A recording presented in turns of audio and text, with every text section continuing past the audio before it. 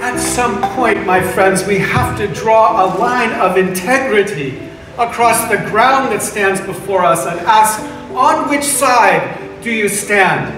It's fine to talk about single payer healthcare, but it's just not serious unless you show us how you will fix this democracy first.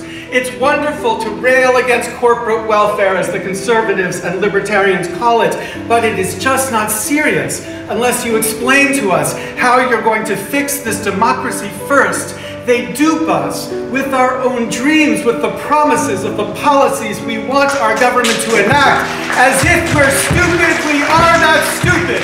We know their words mean nothing unless they fix this democracy first.